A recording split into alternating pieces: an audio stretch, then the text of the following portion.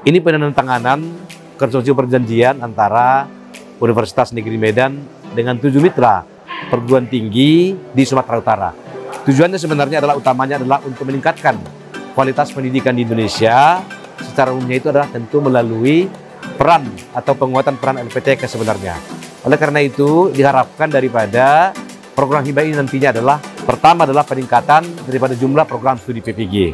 Yang kedua diharapkan juga peningkatan jumlah bidang studi program studi PPG dan yang ketiga adalah juga peningkatan kapasitas dan kapabilitas LPTK sebagai penyelenggara PPG dan yang keempat tentunya kita harapkan adalah peningkatan kerjasama penyelenggara program studi PPG baik itu bidang studi vokasi maupun bidang studi vokasi khusus atau kolaboratif.